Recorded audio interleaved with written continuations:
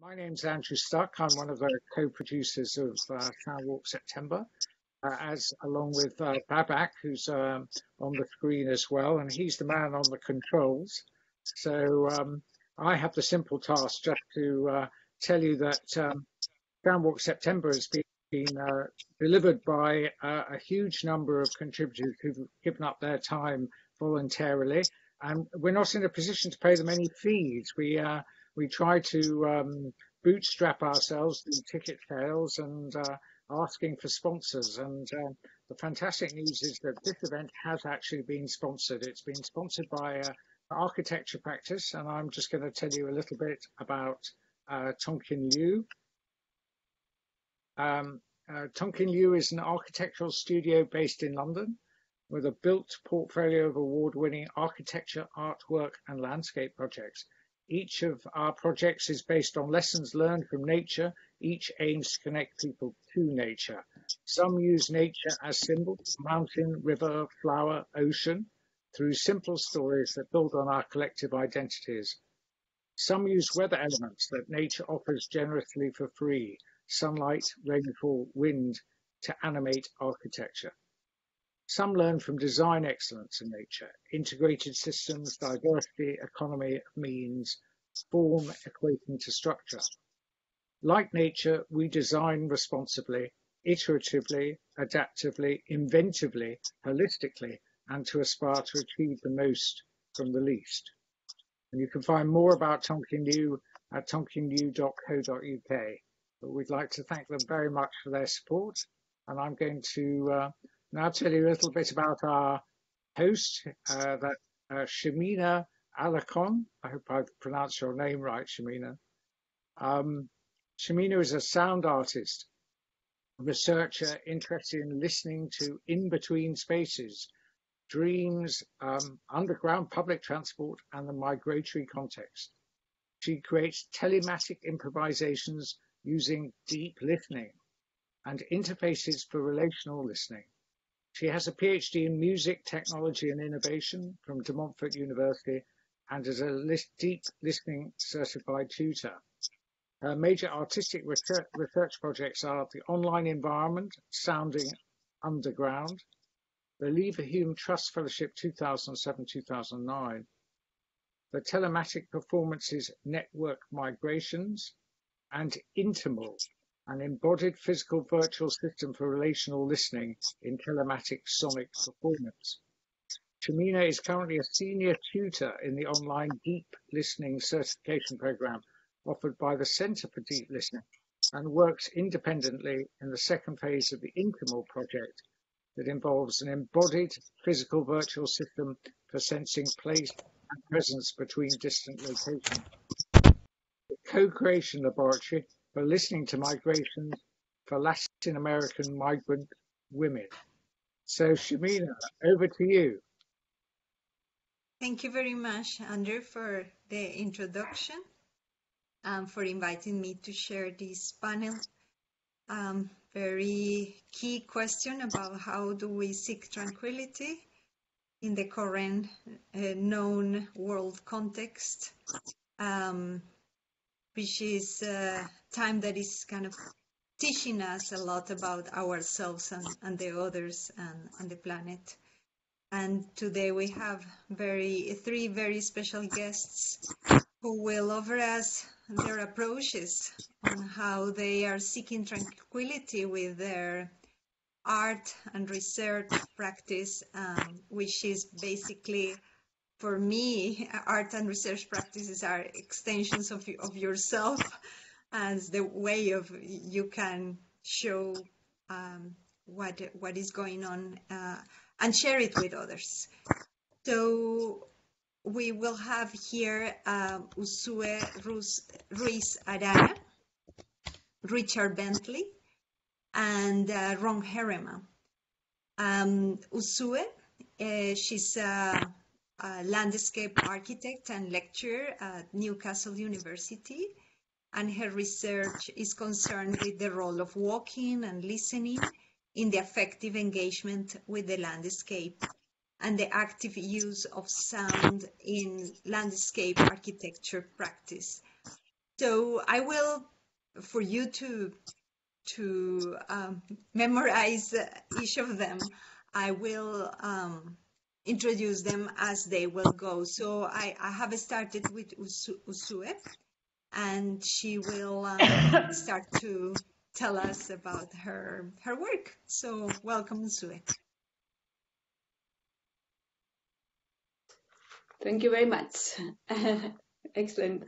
Um, so in keeping with the theme of this session, I'm going to talk about my own quest for tranquility, which I turned into a research project for my PhD.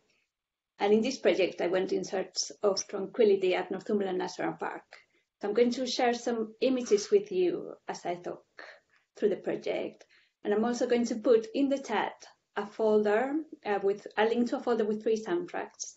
And if you could just open that folder for now, and then I will let you know when to listen to each one. So, so that's in the chat, and then I'll share my screen now. Can you all see my screen now? Excellent. So to give you a little bit of context in my research, as Ximena has introduced, I work with listening and walking as a trigger to enchantment. So I take enchantment in its literal meaning as spellbinding through sound and seek to reclaim a sense of wonder and respect for the non-human world through listening. And in my PhD, I went on a quest to find wildness in my everyday environment and moments of enchantment in it triggered by listening. But halfway through the PhD, at the beginning of 2016, I hit some sort of crisis. Um, this crisis was triggered by two things. The first is that I had just moved back to Newcastle after a year in Toronto, and I didn't seem to be able to find enchantment in my daily environment anymore because it was kind of unwild by comparison. And I started to wonder whether I might have missed something in searching for wildness in my everyday surroundings as opposed to looking for pristine and remote wilderness. And the second aspect to this crisis is that as I was constantly listening, I didn't seem to be able to switch off. And I felt that I was surrounded by noise. So in trying to solve this restlessness, I turned to Northumberland National Park, which is an hour's drive from home, from Newcastle.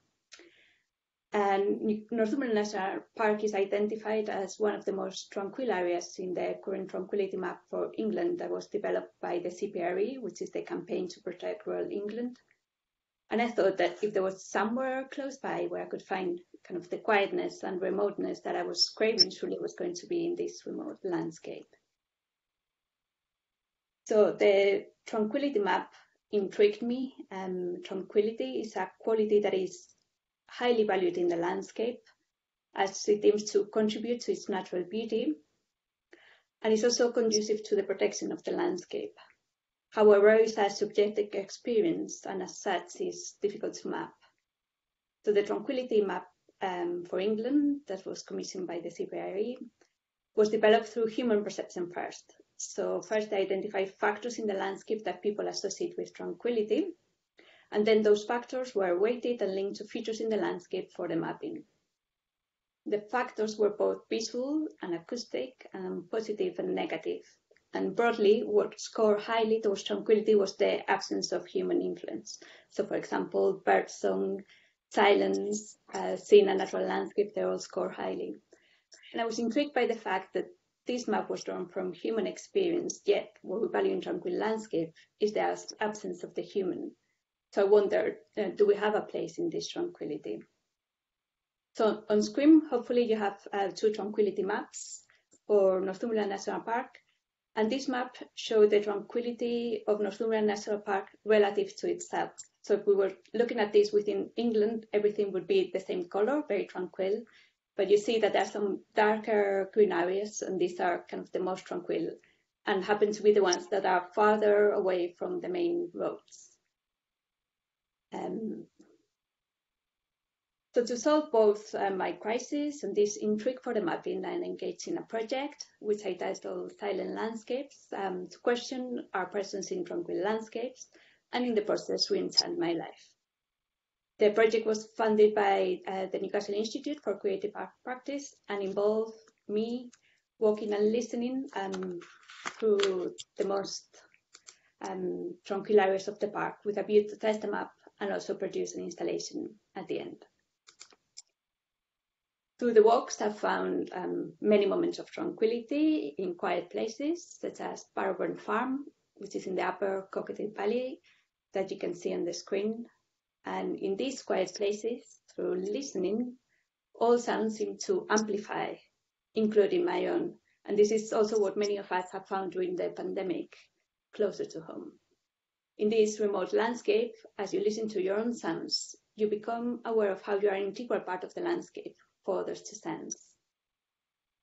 So if I can get you now to listen to soundtrack one of that folder that I sent, just the beginning of it, for a minute or so, you'll get a sense of the soundscape at Barrowburn Farm on a summer's day.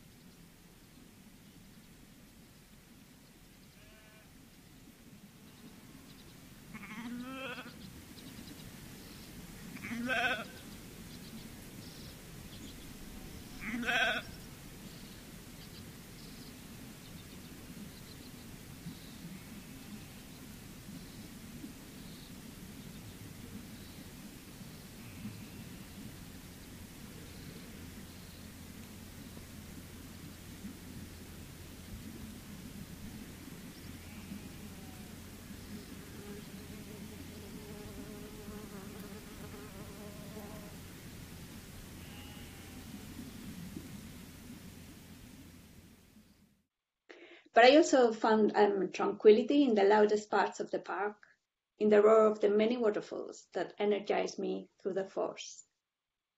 And what all the moments of tranquility that I experienced had in common was uh, two things. The first is that I was abstracted from my everyday life, so abstracted from my everyday kind of problems. And the second is that I was engaged with my surroundings in a deep connection, feeling an integral part of the landscape. So I concluded the project with an installation. This was a structure in one of the tranquil areas at Barrowburn Farm, which we've seen previously, and I organized a five mile round sound walk to mark the opening of the installation. And the purpose of the structure was to signify our presence in these remote tranquil places. The structure interacts with the environment as we do when we are in it, as other animals do when they're in it. The structure was made of waxed cardboard cones and sang in the wind and with the tapping of the rain. And it echoed the gurgling of the nearby burn.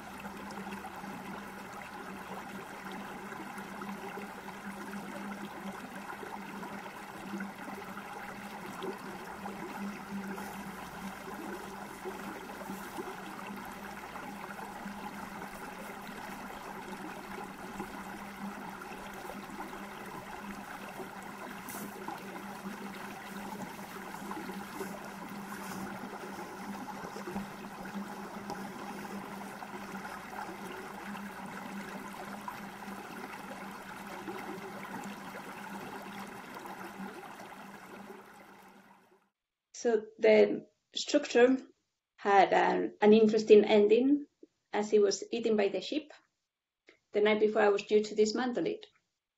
And many pe- people found that it was the right ending for it, as the site returned to silence. However, I found this an expression of the complexity of the, this landscape our, and our presence in it, as the sheep are there because of us, and the hills are barren because of them. So the tranquility map not always led me to tranquility. This sometimes was due to external factors, including weather conditions, seasonal change, and human activity that affected the soundscape. And sometimes it was due to my individual response, some landscape I just didn't engage with, like the one that we see on the screen, a vast conifer forest that had just been felled when I went. And I guess this highlights the subjectivity of the experience of tranquility and the complexity of the mapping. But what is important about this tranquility map, and this is what I like to end with, is that it invites us to listen. By being in this quiet landscape, we learn that we listen and that we make sound. We can find tranquility, but we can also become aware of the extent of our own sound making. As one of the participants of the sound work reflected, away from the noise of the city, you hear more and you hear yourself more. Becoming aware of our own sound making makes us question it, not in the sense that we should not make sound at all, but in the sense of how we should sound. And we need to question how we should sound not only in this tranquil and remote landscape, but most importantly, in our everyday surroundings. So I would like to conclude uh, by listening to the last soundtrack. Um, and when I discussed this installation with Scott Eiley, who farms the land where I put the installation, he was very conscious of the sound that he and his farming makes. And you'll be able to listen to some of that sound making uh, in the soundtrack on an early morning at the end of summer.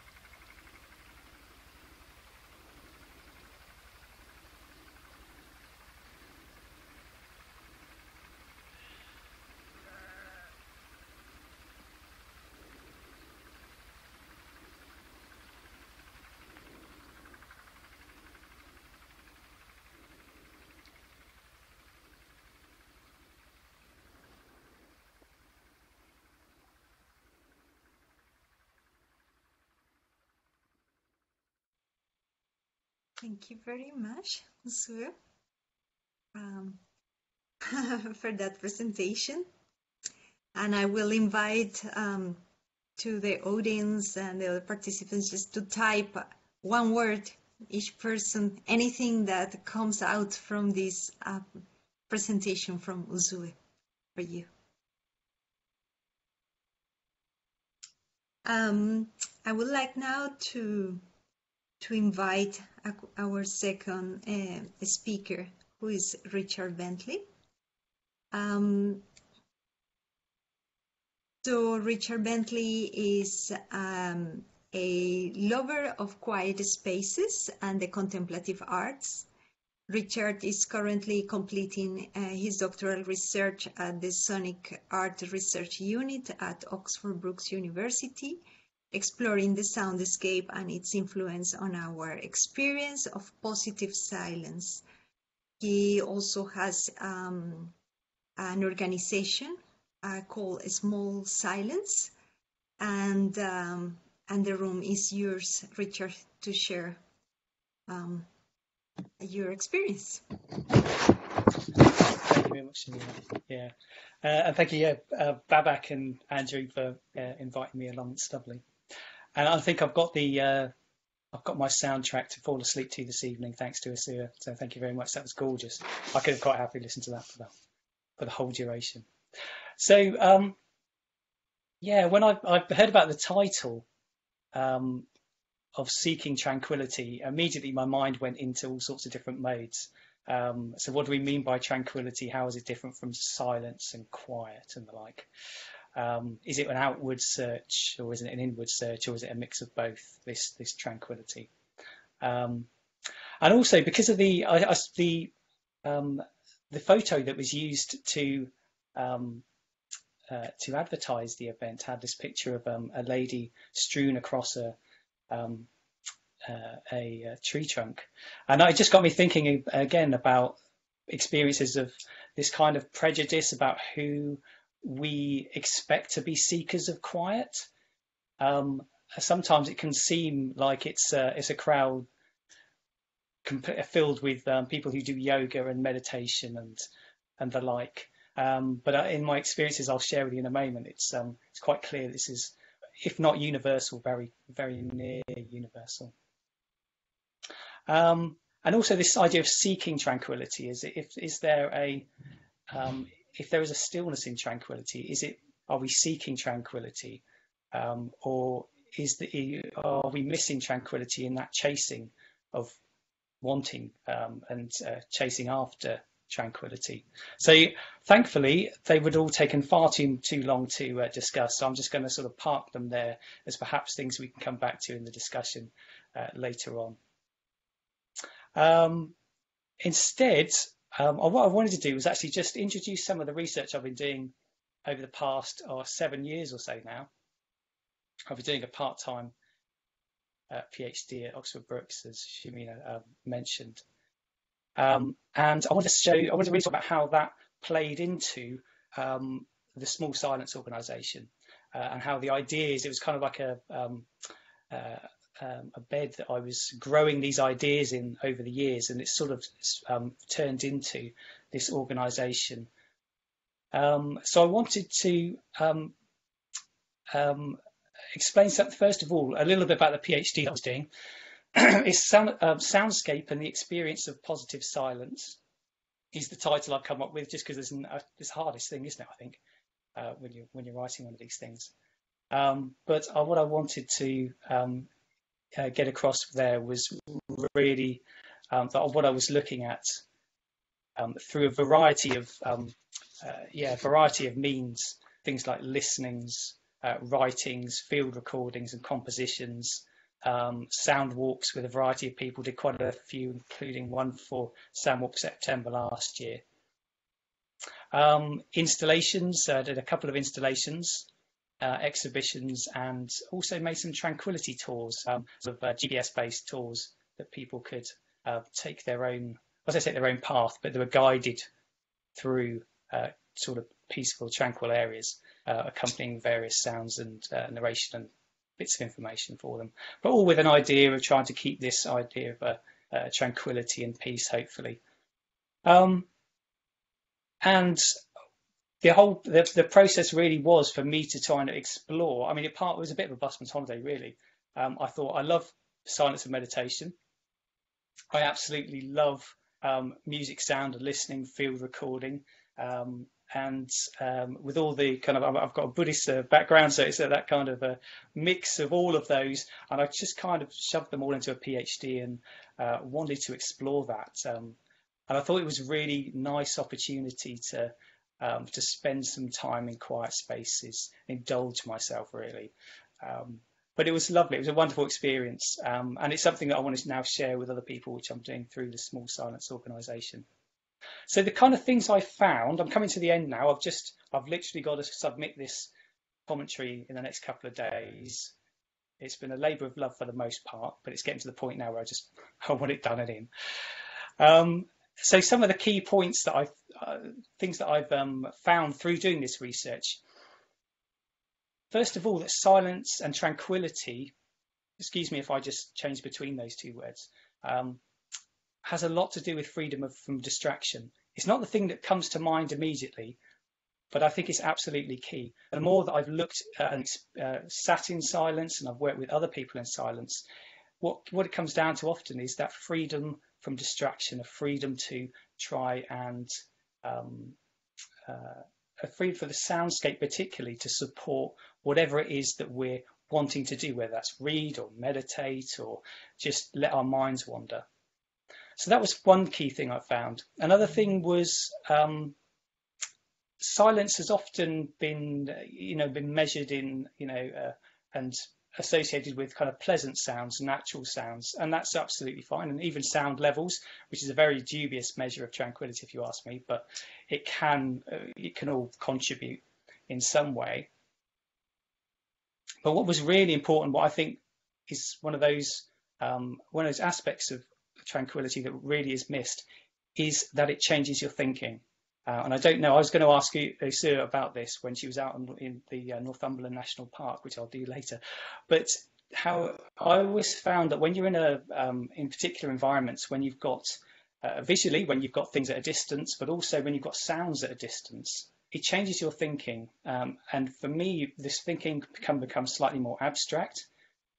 And also you get that that sense of well-being. And I was trying to go, what is this? Uh, what is this sense of well-being that you get from that? And how does it change your thinking to sort of the, the bigger issues? Um, and I've sort of done a lot of I've, I've, delved into psychology. Maybe I shouldn't have, but I, it was a, it was a, I think a useful, um, uh, useful exercise.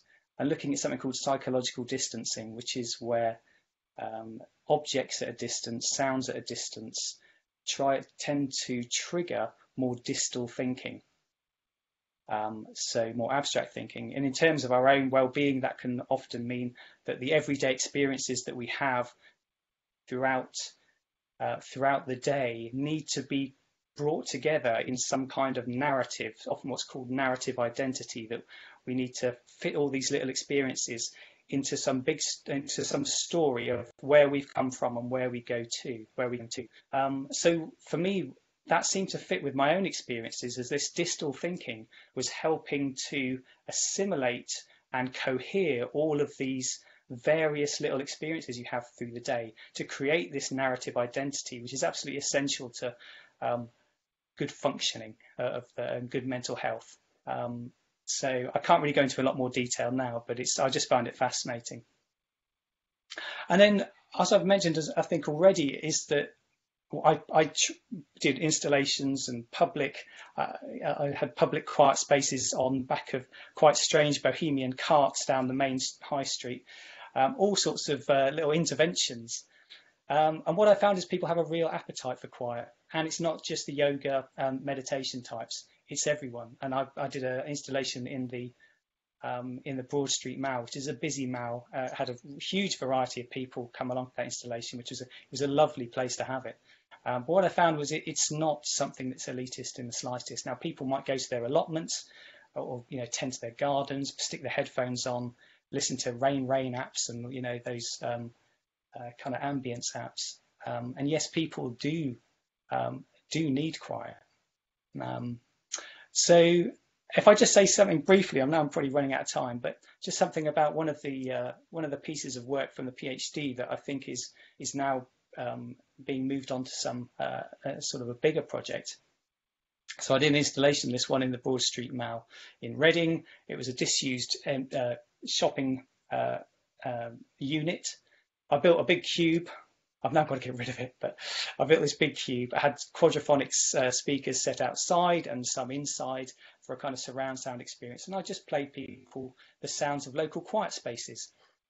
Which I'd done while using, I can see Antonella's on here as well, using her Quiet um, Hush City app. Um, and I did some recordings as I was going. So I played these back in surround sounds um, and just let people wander in, sit in the cube in darkness, very secluded spot, and also sit outside in the mall, which is a little busier, but it was, um, yeah, still quite a, um, a relaxing experience um, from the feedback. But what was interesting again was this this uh, sense that the people came in. Um, often they come in every lunchtime because they really wanted to sit in the quiet. And once they knew I was there, the days kept coming back. Um, and also um, that people would have really deep conversations with me afterwards. They'd often sit in quiet and then they would tell me I had a couple of soldiers, ex-soldiers, come and talk about their PTSD and how they like to sit in tranquil areas to help them, um, uh, you know, manage their PTSD. Um, people talking about their anxiety, um, uh, depression, and the like. And so, in strange because I was a, a virtual stranger, but this, the environment and the peace, hopefully, and tranquility that was provided there allowed people a different space. And I think this idea of it changed people's thinking, it changed people's um, mode uh, and they slowed down a little bit and also were very free in talking about these things that were really troubling them often. Um, we did have some happy conversations, but on the whole, these were these were people that that, that liked that silence because it really felt um, a support in a way and a, and helped them to to uh, to share these things. So along with that, that installation, I had a um, a nurse from the local intensive care unit uh, came along uh, and she sat in there and said, "Oh, really, this is brilliant. This I could really do with this for my patients." Um, so, um, so we got into a conversation. She invited me down to the intensive care unit, and um, the Small Silence now We're now developing a project. Fingers crossed, we've got funding for this. We'll know shortly. But where we're going to be working with the intensive care unit um, to try and improve the soundscape. I don't know if anyone's been in hospital, hopefully not, but I'm sure you you know that soundscape, full of bleeps, whistles, people chatting at all hours of the day um, particularly in the intensive care unit. Um, and it was it's a really disturbing environment in many respects. So what we're planning to do is to bring those soundscapes to the patients through iPads at first, um, and help them to uh, you know to tune into the soundscapes uh, and various other slow media, um, which could be music, ASMR, um, it could be slow video as well. And what we're doing is hopefully we're going to get local community groups, arts and mental health groups, to produce a lot of the content. So some will be professionals, um, professional artists, um, some will be amateur artists, and then we've also got a, a variety of, uh, of uh, people from the mental health, arts and mental health groups. Not that I like to see pigeonhole artists, actually we're all just artists and creatives, but um, so we're hoping to develop this um, this project and then provide these patients with something slightly nicer to listen to. Um, you could just go on YouTube, but the idea here is here that the actual process of creating the content should hopefully allow, uh, should be quite therapeutic in itself, but also that all of the content, well, pretty much all the content is going to be locally produced involving local, not just local artists, but also local soundscapes. So we're hoping that it'll have a local reference and enable patients to be grounded in the tranquility and in, the kind of local tranquility, whether that's down the pub, in this kind of quiet pub perhaps, or whether it's by the, the canal.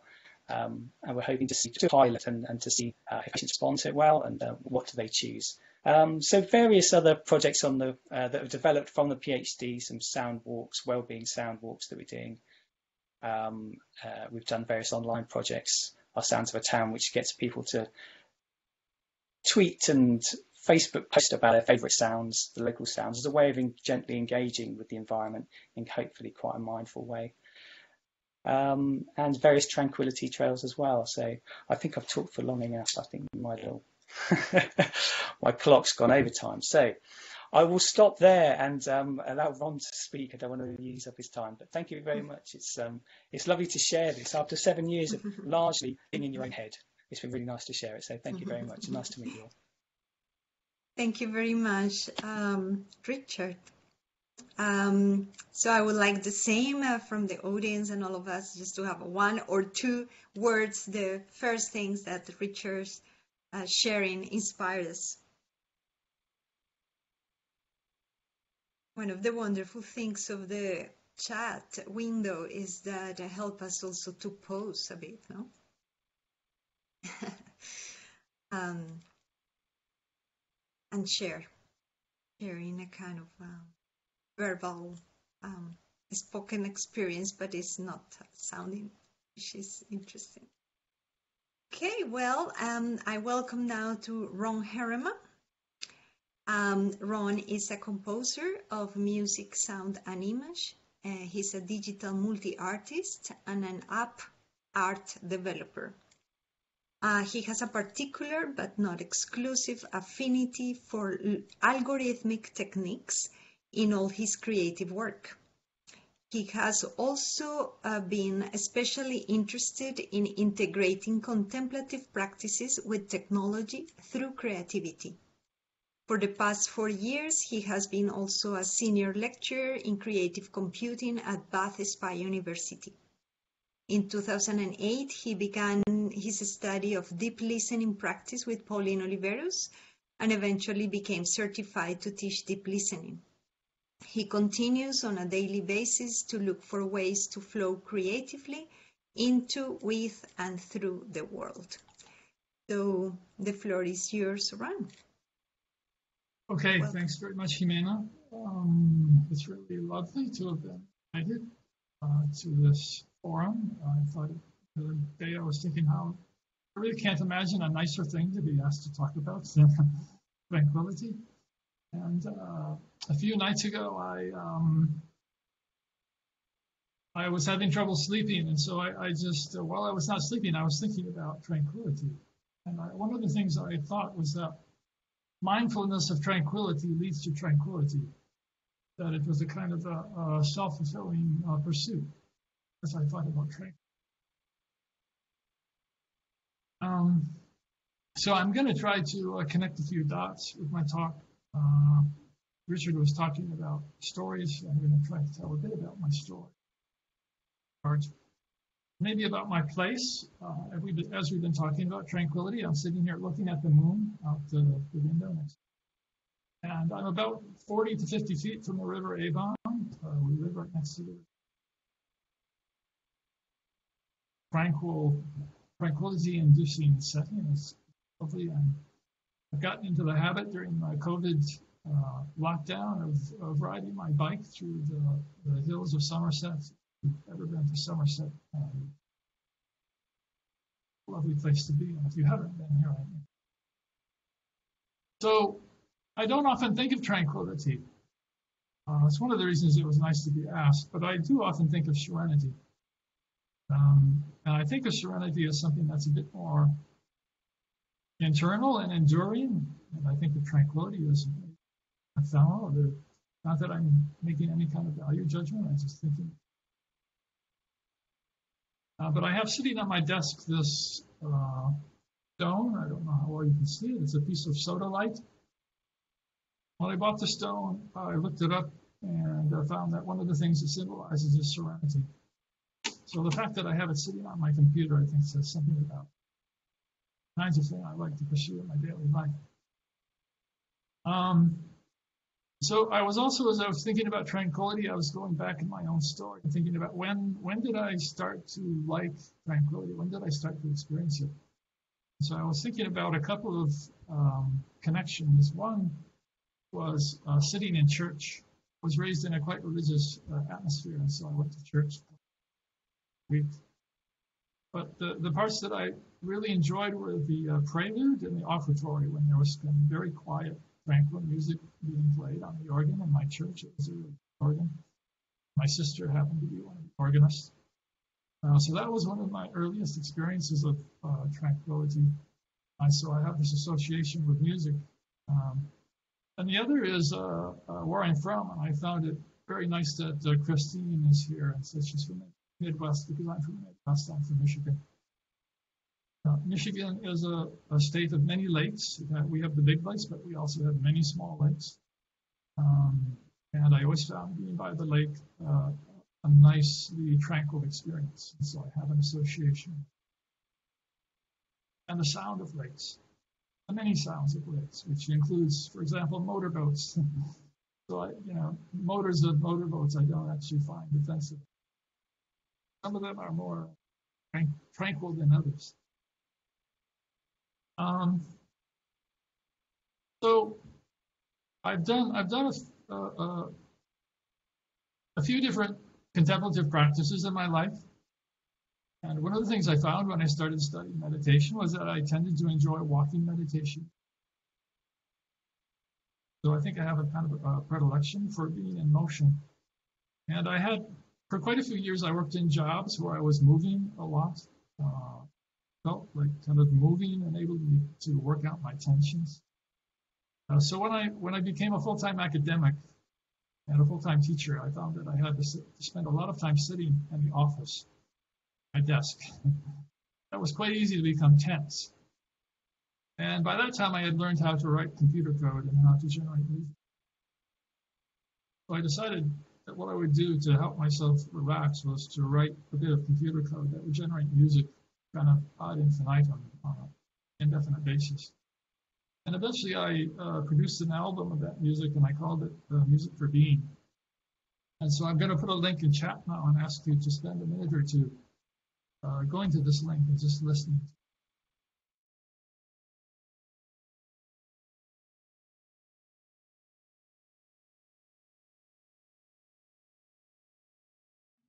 Um, I mentioned a couple of uh, things about that. Uh, sort of in terms of the process, I I became quite fond of this process of, of trying to write very small amounts of code um, to generate uh, lots of music. And um, I associated that with uh, Taoism. So I've spent some time reading the Tao about the Tao, about the and the Wu Wei of non-action, the strength and power of, of small actions being able to generate large results, which is uh, for me partly what the Tao is about. Now, the other thing is that um, Richard was talking about hospitals, and we actually had a friend who, uh, when she was in hospice, uh, listening to this album of mine was favorite things to listen to.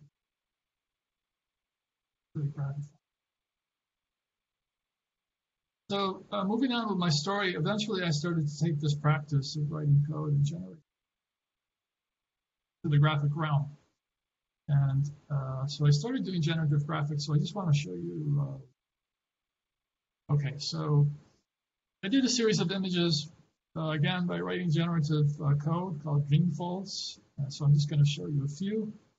Uh, all these images were generated by running the same algorithm.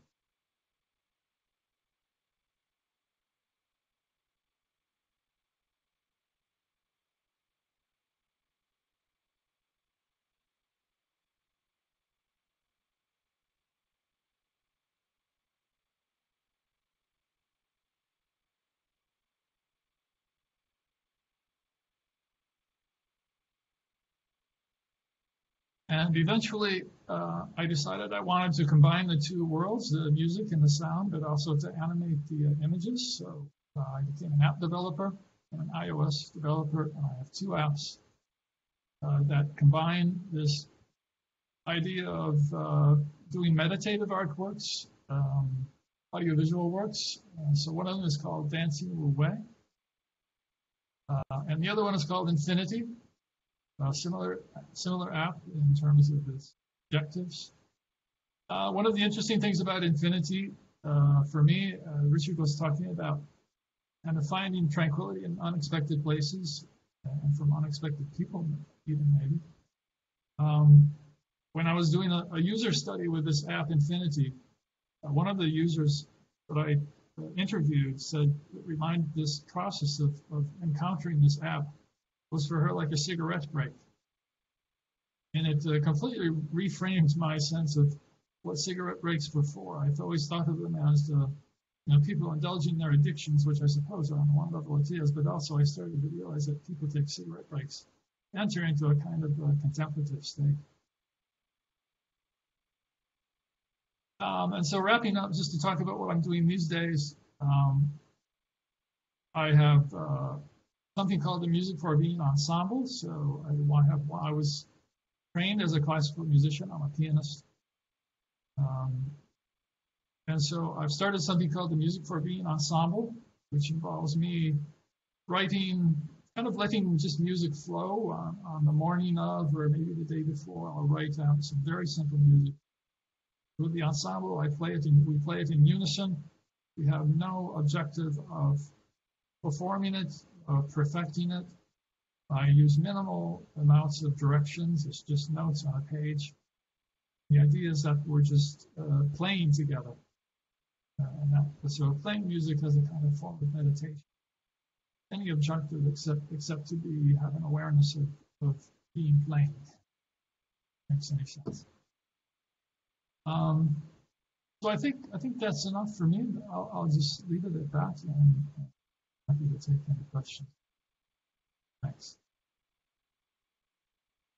Thank you very much, Ron, for that sharing, for that music.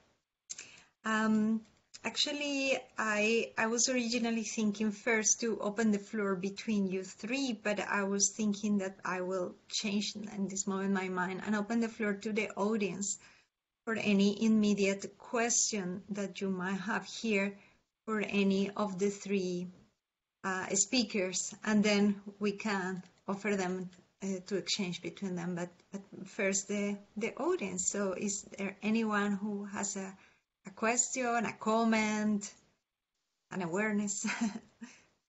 uh-huh. Uh, that would be me, maybe. Yeah. Okay. Thanks. Thanks, guys. This uh, I think this was great. Um, and I have, well, I can easily have a dozen questions. um, first, a remark for Ron. I do not seem to be able to find Infinity uh, in my App Store, sadly. Uh, it's also a question for Ron. Are you able to briefly share something on what the algorithm was that you used to create the images that you shared on Flickr? Yeah, sure. Okay, so the Infinity app is an iPad app. Uh, the other, so uh, Dancing Little Way is an iPhone app, but Infinity is an iPad app, and those two worlds are segregated on the App Store. Um, and in terms of the algorithm, the, the, the things that I like to work with uh, are noise. Uh, there's a particular algorithm for noise, which is called Perlin's noise, which is ubiquitous in actually gaming industry because it's used to generate organic shapes on the fly. Um, so I was using Perlin noise in the images, and I was combining that just with uh, simple sine waves.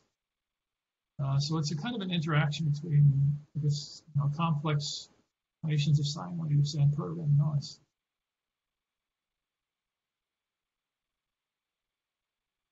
Thanks. And indeed, uh, I find your app uh, for the iPad. Thanks. Great. great. Um, and also a question on your music. Uh, the piece that we listened to, that was also algorithmically produced? Yes, yes, totally. So does that mean that um, you could keep on producing these works uh, at infinitum? Yes, yes, yeah. That's kind of my, so you, know, that's my tactic. I'm sorry? You should start your own radio channel 24 7. Well, I have thought of establishing a YouTube channel. Yeah, as a full-time lecturer, I've had, I found it difficult to to fit in, but I have thought of YouTube channel. But the the beauty YouTube you have to upload. The beauty of uh, a radio channel is that you plug in the parameters for your uh, algorithms, and it will churn out co music continuously. You will never have to do anything about it again. You're you're correct. yeah, yeah. I'll, I'll give it some thoughts. Good idea. Ah, thanks. Um, and I also have a question for um, Richard. Um, you several times said that you were in the Mao, and I have no idea what you're referring to.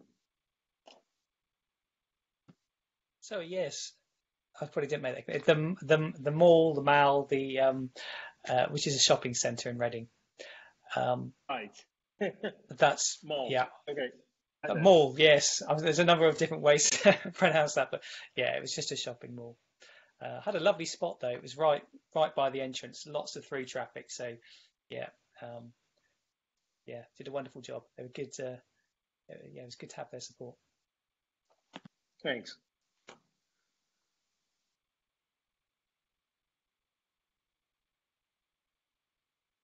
Great. So actually, I didn't give a space to, if people want to write anything that came out from uh, Ron's music and, uh, well, things are coming here, uh, but I will put my bit too um, about small actions.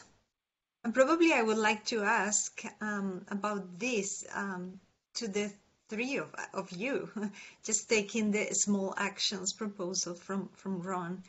Um, I wonder um, how small, well, I'm bringing this small silence of uh, Richard organization and, and about the measure, this idea of measures. So I wonder with Usue, how do you see your, your work? Is it something that could you say that it's kind of a small action or, or, or a measure of, of your actions there? I think um, one thing that I, that I found with tranquility is perhaps that we need big actions as opposed to small actions. That is not enough to protect this quietness. We need to think big. We need to make listening integral to every part of our practice. And this is very relevant for me as a landscape architect, but everyone working with the environment. So we need to kind of make listening integral to everything that we do. Uh, at the moment, um, all kind of built environment architecture, landscape architecture, urban design are very much visually focused.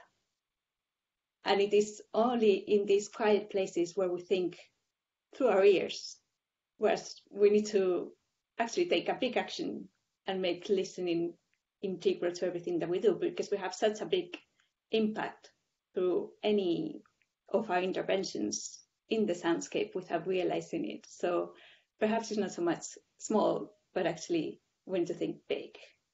Um, yeah.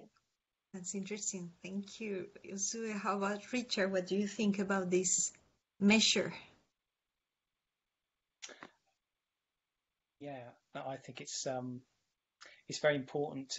Uh, is quite right to to think it's we have got to think bigger. We haven't got time in terms of the climate crisis, particularly. We haven't got time to think too uh, too small. I think the two can go together. I think you know, as I said, my organisation is called Small Silences. It's those little moments of silence in the day that people can grab often, and and that's where that comes from.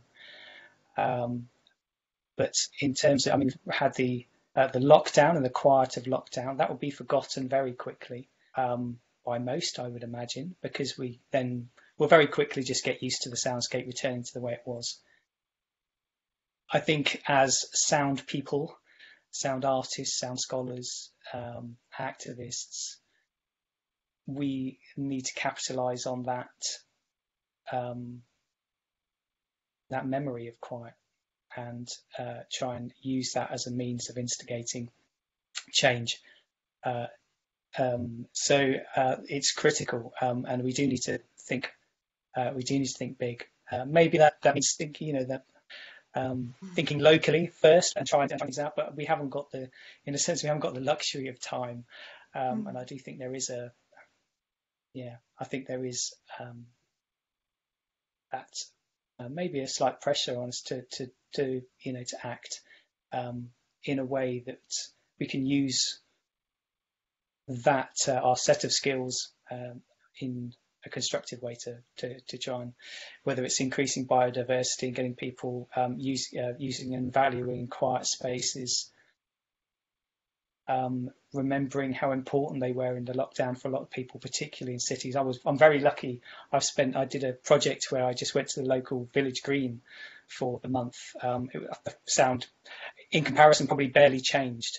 Um, it's mm. it's quite tranquil out here, but people have very different different um, experiences in the in the towns and cities um, where those quiet spaces were absolutely crucial uh, for people to get out, get out of the house. And I know I've got three daughters. I love them dearly, but yes, everyone needs that, that, that, that those spaces to kind of retreat mm. to, recover sometimes from, mm. uh, recover in.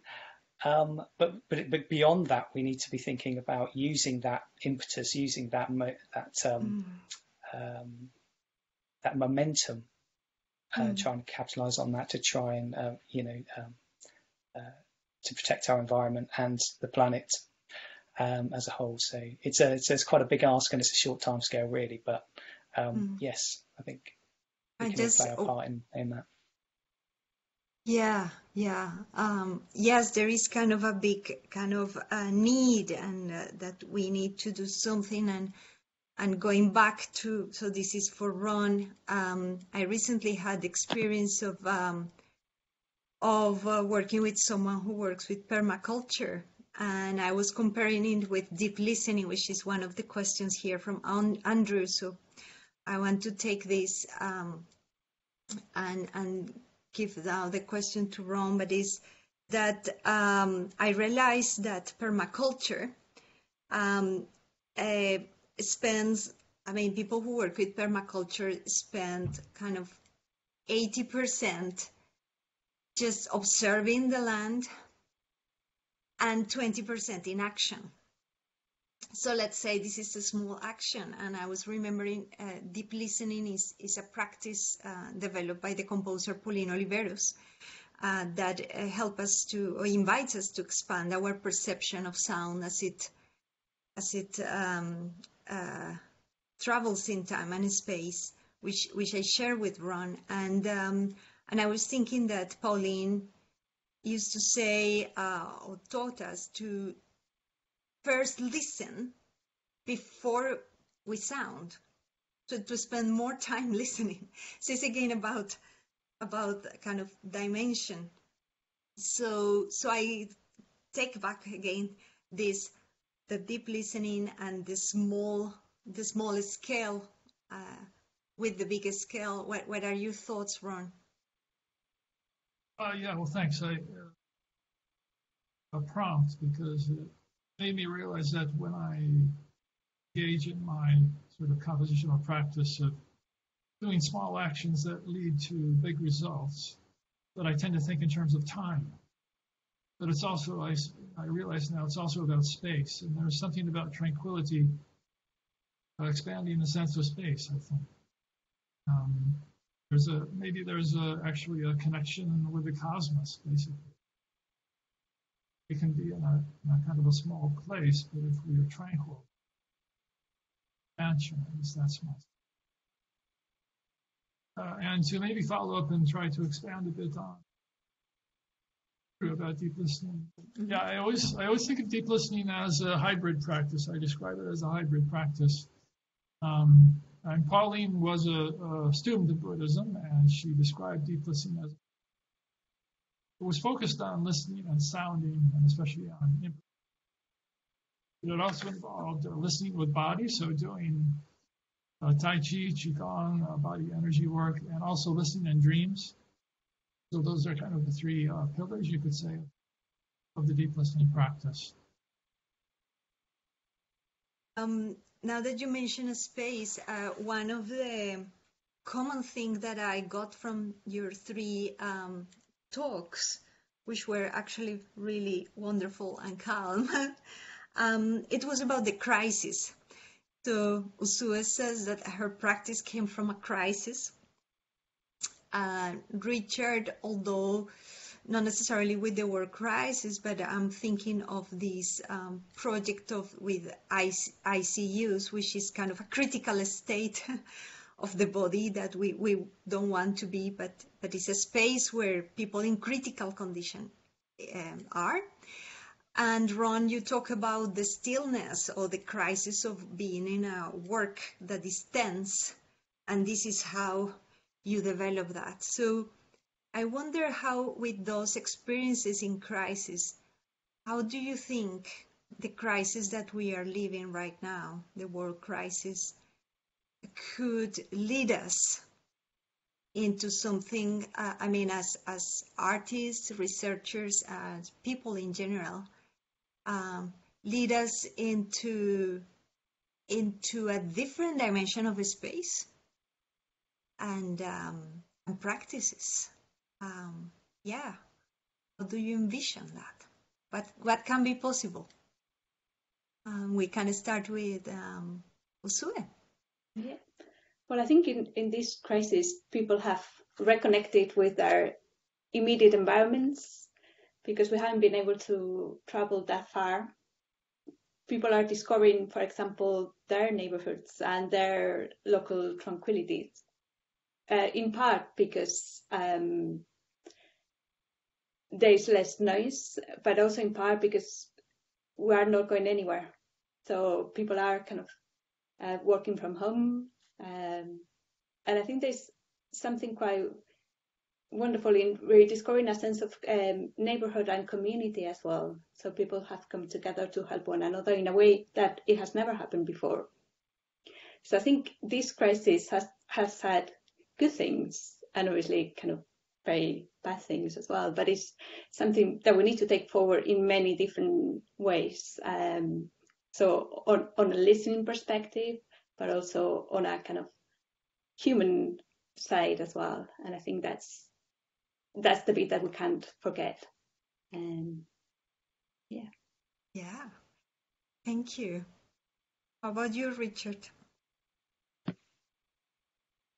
Um, I don't know if this is going to go off topic, but in terms of crisis, um, oh yeah, I was thinking about what does tranquility mean.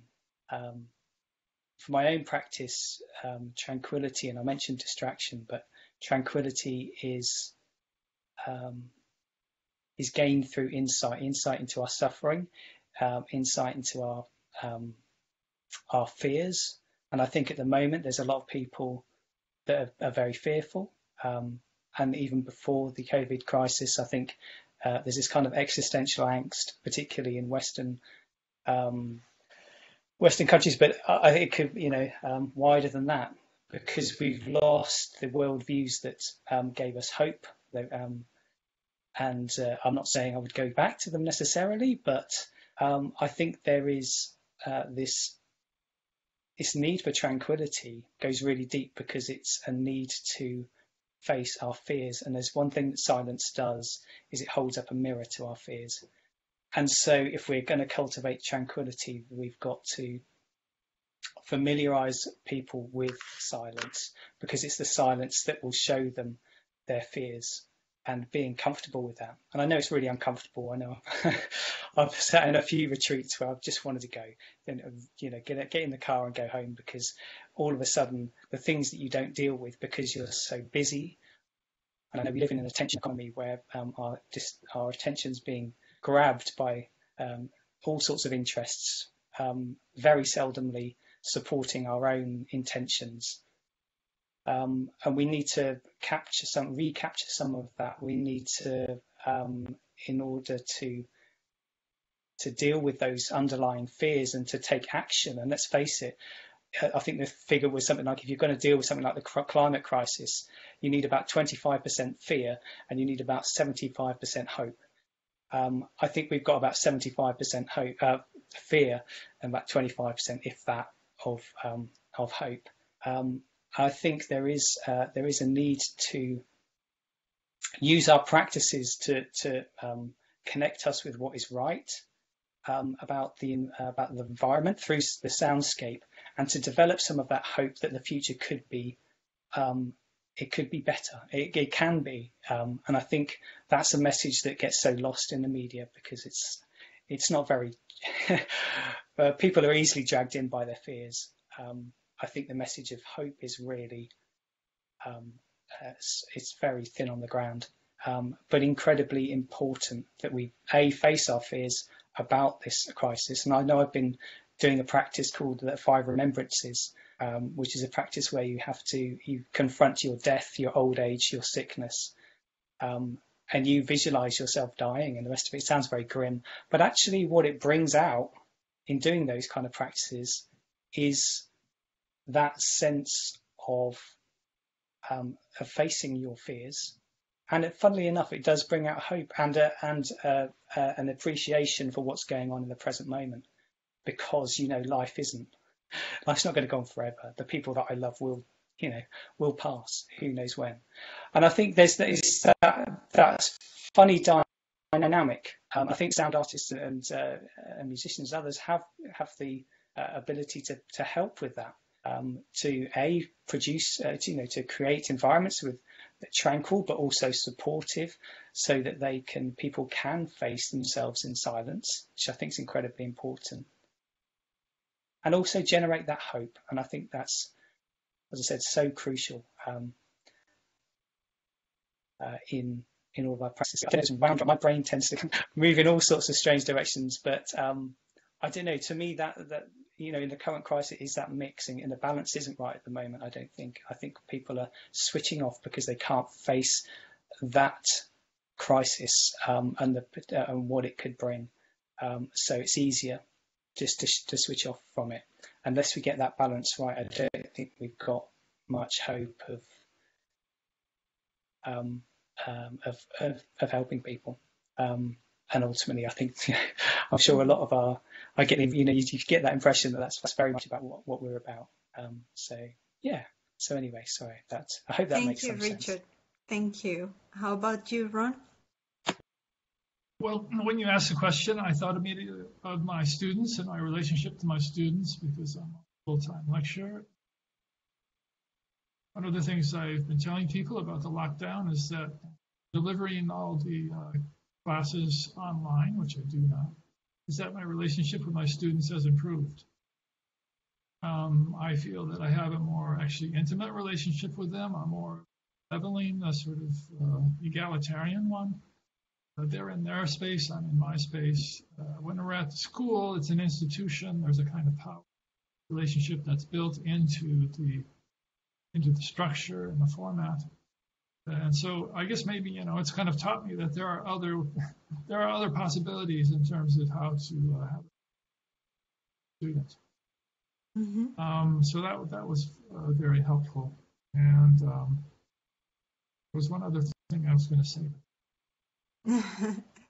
Enough. well, thank you. I would like to open the floor here for Mel, um, who, yeah, was talking about tranquility slash peace, um, uh, suggested by Richard, uh, that she can uh, comment on that, or please, Mel, uh, or anyone else in the audience uh, who wants to comment.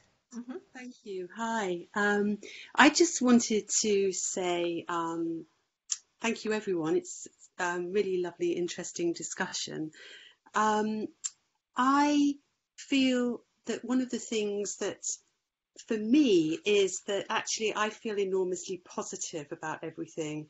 Um, I think that we are spiritual beings in having a human existence.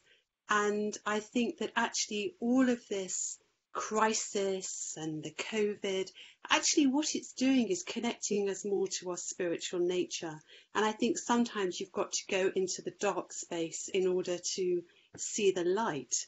And I think it is, um, for me, I have felt more connected. I feel that there are more people talking like this about spirituality, about consciousness, about connecting to who we are, you know, who our true nature is. Um, and to me, that's wonderful. You know, it's just so liberating um, that through all the noise and the, as Richard was saying, the fears that come up, um, all these deep emotions actually are taking us to a better place.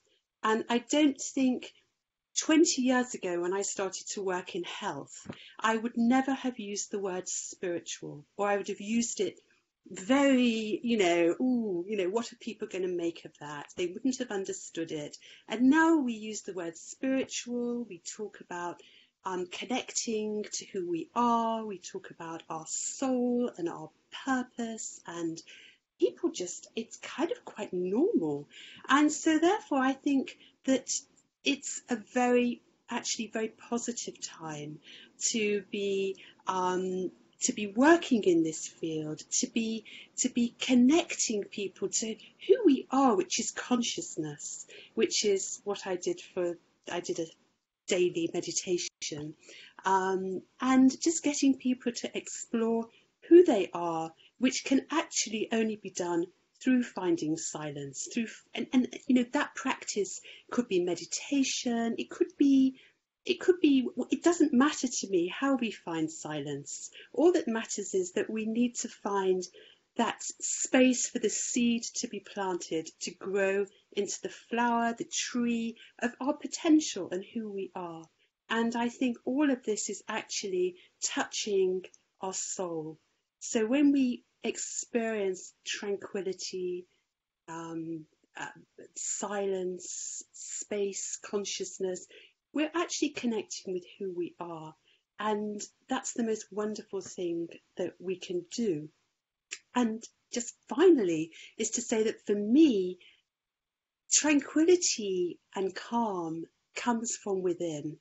So when I was listening to the that lovely ambient sound of the sheep bleating, you know, it made me think actually I can be outside in a field in Northumberland, listening to sheep, being with the sheep, but I can also be sat on my bed like I am here and listen to the sheep bleating and visualize that sheep and visualize being in that place. Yet I'm in, in my house, in my room, I'm not there you know so really it, it opens up such a big question to me is where do we find tranquility? Is it does it always have to be in the space where we are or is it coming from within? And to me one reflects and begets the other. Thank you. I, I hope that made sense. Thank you. Thank you. Well, wonderful question actually it seems that two two hands there, Ron and Richard. Yeah. Please feel free. Uh huh. I know. Just talking about. Uh, okay, I, it's good here. Actually, um, it would be nice to hear from Anna. Uh, do you want to share what you're saying here in the chat? Your experience, yeah. Um, we cannot hear you. Yes, yes. Uh, my English is not good to speak. Uh, I'm sorry. Uh, but uh, I wrote uh, uh, how I think about this experience of silence departing from inside. if I understood what Mel said, departing for inside because I live in a, in a city with a noise all the time, almost all the time. I will sleep at uh, nine o'clock. I will sleep uh, very early, I know, uh, with noise. And I wake up, uh, I wake up uh, with noise. Uh, but my experience, personal experience with um, tranquility, some silence, um, is through my imagination uh, and through uh, a deep, listening to my breath and uh, heart beating.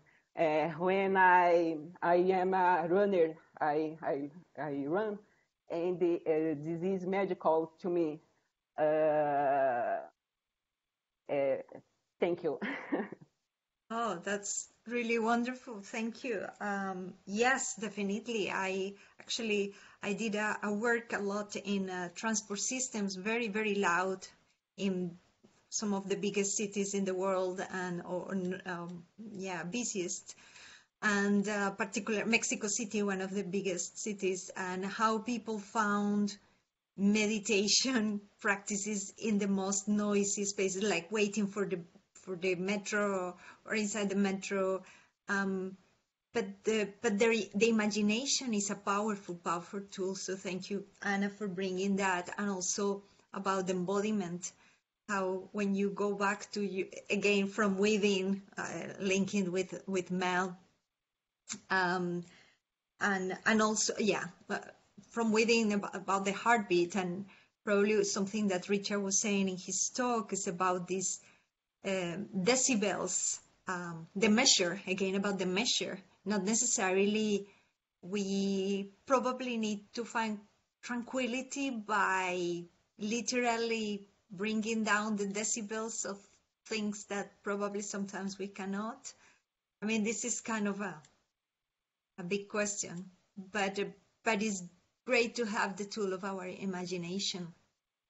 So thank you so much. And going back to the heartbeat, um, and I probably would like to to start to wrap up with with a question. Uh, and please feel free in the audience to to put more things in the chat, um, and I will grab them. Um, but it's about going back to this abstraction. Um, I think you both mentioned abstraction. Um, uh, Usue mentioned abstracted from everyday life, and then um, Richard followed with with the thinking of of the di distance about distancing and, and abstract, and then well, Ron's music music is kind of a very abstract art in itself. So I wonder about how, how do you feel the possibilities of that abstraction and how that help us with distancing and also uh, distancing not necessarily of being far distant but but about managing how close how far we are how we balance that um, what are your intakes and abstraction probably I will start with a more abstract, as I say, art, and Ron could correct me, but I could uh, start with you, Ron. Uh, sure. Yeah, I mean, I agree. Music is kind of famously uh, uh apparently abstract, although it's very, you know, body oriented as well. Um, it's a, it's a cliche, but uh, to write music uh, is to speak in a way that I cannot speak with words. And so, in terms of my own tranquility as a creator, it's deeply satisfying. And I'm very rarely uh, as happy a person as I am. Um, it's, it makes it possible for me to express myself in language that, again, it's a cliche, but it's a language that I, like I couldn't possibly do with words. Thank you so much. How about uh, you, Usue? Yeah. Um, for me, the abstraction perhaps goes something close to what Mel was talking about, um, this spiritual being, but it's abstracting ourselves from kind of our cultural beings. So you abstract yourself from um, your physical space, your normal physical space, but then abstracting ourselves from technology as well, abstracting ourselves from in, even from time, so that we are we share many things from with people before us and after us, but we share many things with kind of animals as well. So it's kind of becoming feeling part of Earth, I guess. So it's achieving some sort of inner state where you feel a deep connection, perhaps it's a spiritual connection or it's a kind of physical connection with um, everything. Um, so with animals, with earth. Um, so yeah, it's abstracting yourself from, I guess, your everyday life, your everyday problems, but from in different ways, physical abstraction, technological abstraction, and people achieve this state in different ways. So you've talked about uh, both um, Ron and Richard about contemplation, meditation, and these are way of abstraction as well of abstraction. So, yeah. Thank you, Sue. Going back to Richard. Uh, yeah, I think there's some lovely comments. No, I completely, I was nodding away with Ron there about the the, the music um, and the abstraction. I, I love that piece. Um, so yeah, I'm, I've got it ready to download in a moment. Um, but it's yeah, it was beautiful. Um, and there was that both the abstraction of using the algorithm, you never quite sure what was going to happen. There wasn't anything that you could grab hold of in terms of structure easily. There was a tempo, there was there's some kind of pulse going through it that you could feel. But other than that, it did. Um, yeah, it was abstract enough to let your mind sort of soften with it. And I think I, I know exactly where you're you're coming from with when you're writing music. Um, and it's funny, you know, you mentioned Wu Wei and the idea of doing, and that's obviously the Chinese for uh, basically doing nothing, being inactive.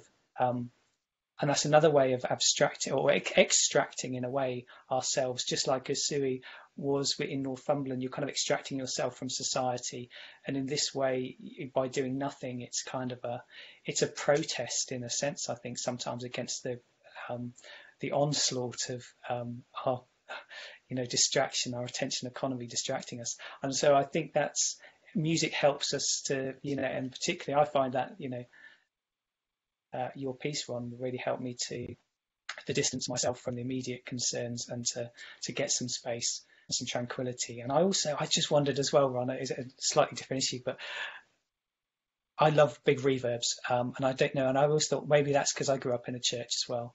Um, in fact, I was meant to be a vicar, um, never happened.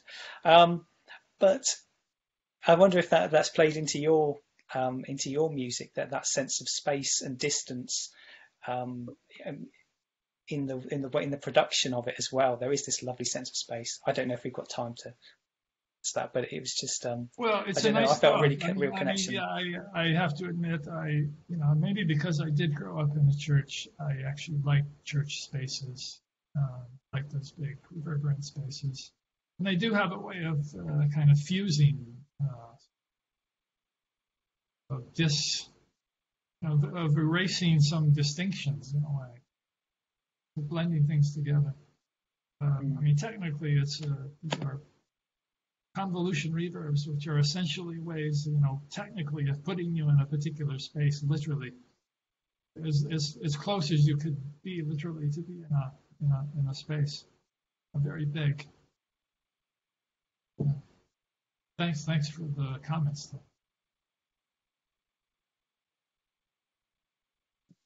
to, to close these comments about, about uh, it made me think of uh, one of the Usue's work, um, which I didn't, uh, probably was the last one that you invited us to listen, but uh, it has a kind of, not reverb, it has something, it, it had a filter. And, um, and that definitely sounded mm, sounded that was not part of that landscape originally. So it was kind of an intervention that ended with the anecdote of the sheep eating the, the intervention, which I found it very, very interesting. But how this, um, how this, how did you think of, of this intervention and how, what was the relationship really with the, with the landscape thinking of, of a space where we have completely a different uh, space than a church in, in, contrast? I think that the original plan was to kind of try to signpost the, the most tranquil parts of the park. So you would have, um, like you have visually in some parks, you have viewpoint here. So you would have something that would signpost, you know, quiet, quietest point here so that was the kind of um, original intention of it. Um, and then when I was walking and I became very aware of kind of my own, own sound making in these um, tranquil landscapes, I thought it would be nice to actually not only signpost the quietest, but also signpost us in mm-hmm. it. So something that would make noise as we do, but without being overly powering. So is um, kind of an amplifying instrument that kind of what it really does, it amplifies your own sounds and there's small sounds on, of nature in there as well. Um, so yeah, and then it was quite an isolated space. So I needed to work with um, something that I could construct from small pieces because I wouldn't be able to take it there in a car or anything. I needed to walk there with all my um, equipment. So it was, um, yeah, mm-hmm. working with that. Thank you. It's also interesting the the fra- fragility that you part with these cardboard um, boxes because it's not necessarily the installation of uh, metal or protective, but it's precisely something kind of fragile um, yeah. in the immense kind of landscape, which I found it very very nice, very powerful, actually. Very powerful. Yeah, Babak? Um, I have a question for uh, any of the panelists.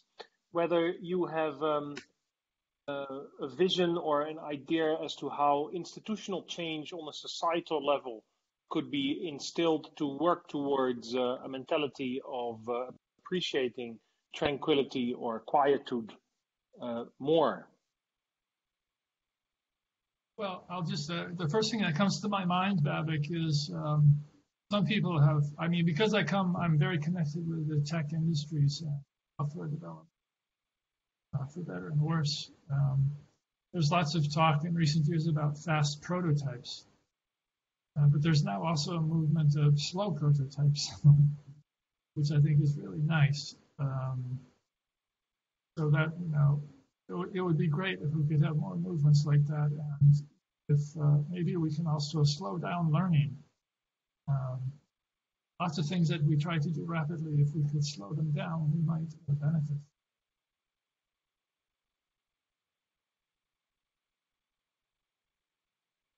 Thanks. Thank you for the question.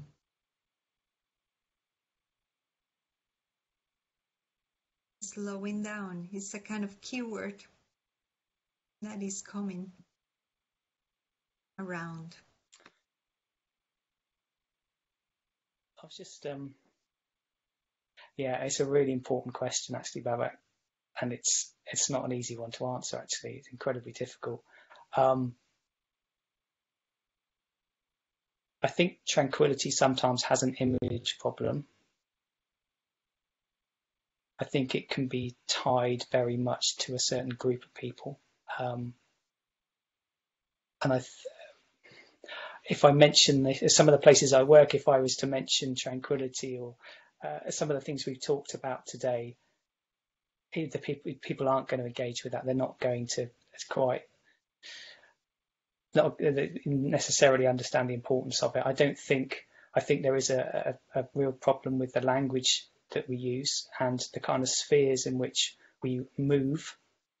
Um, I think there's some great ideas out there, uh, and I think we've you know we've heard about some of those tonight, the Tranquility Map and the, the apps, which are very much engaging people at where they are and with technology that they're familiar with. I think that's brilliant. I do think there is a um, there is a real problem with the way it's portrayed um, and the kind of circles that in which we have these conversations.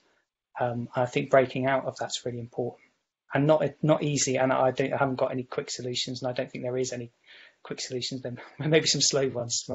Um, but I think there's that. Um, uh, it's going to take. It's going to need to take lots of different angles. But I think the important thing is to talk people's languages um, and to convey. If we're talking about tranquility, to convey the benefits and the importance of tranquility to people who might be switched off by the kind of language that we all use um, quite frequently. Um, and that is not one language it's going to fit. It's about um, understanding who you're talking to and, and putting things in a language that they will, um, where they can see the importance of, um, uh, of tranquility in their own lives. Um, again, that's I don't know. This it's not a oh, we'll just you know, like a lot of these things, it's not just a quick oh, uh, we'll do that, that'll be fine. I think there is a um, but there is a real need to talk about tranquility in, a, and in a language people the, person you're talking to will understand and to experience that, not just talk about it. Um, and it's interesting. Um, again, in that abstraction that uh, you know you get, you often um, there's that feeling that uh, that words aren't enough, and sometimes sound can do that, can get past the words, the miscommunication. People will listen to the music, people will engage with an app, uh, you know, and um, often with wordless formats because there's no the message is very much and with a lot of art the message is sort of internalized and interpreted in a particular way by that person. There doesn't need to, you don't need to um, always um, put things into words in order to convey them. In fact, often without words, it's far more powerful. Um, that's very vague, um, but I'm going to have to leave it there because I don't think I can do any better at the moment. Work in progress.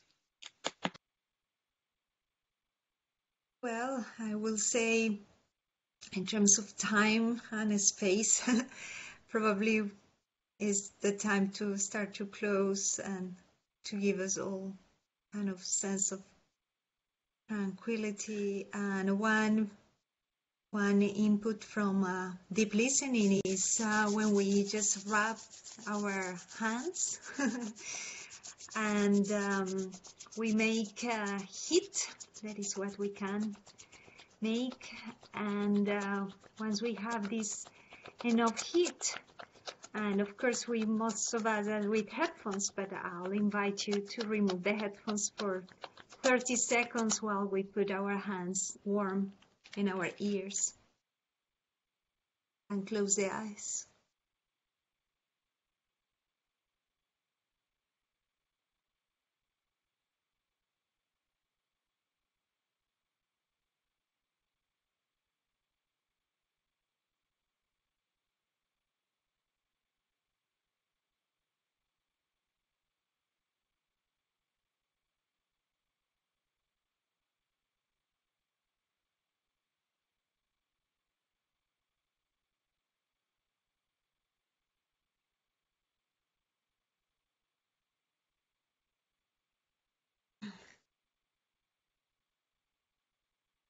We connect again back. A huge thanks to our speakers today and to Andrew and Babak for opening this space and to Mel, Anna for your contributions and to all the listeners who are uh, in verbal silence but are there with uh, big, big listening. So thank you.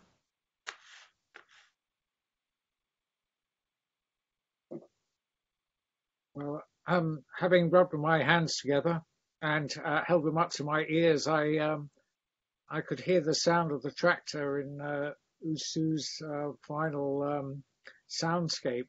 Uh, so something is going on in my head. Um, anyway, uh, lots to think about and um, a really lovely discussion. So thank you very much to everyone who uh, contributed and um, we want to thank once again Tonkin Liu, who sponsored the event. Um, and uh, we would like to invite you to uh, join um, other events in Soundwalk September. There are a few more to come. Uh, I think we have uh, three or, or, four events over the weekend, and tomorrow there's a an event which is uh, uh, about text and landscape.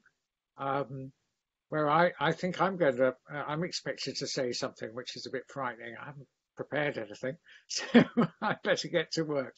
Anyway, thanks once again, Ximena, for for bringing this uh, panel and chairing it so well.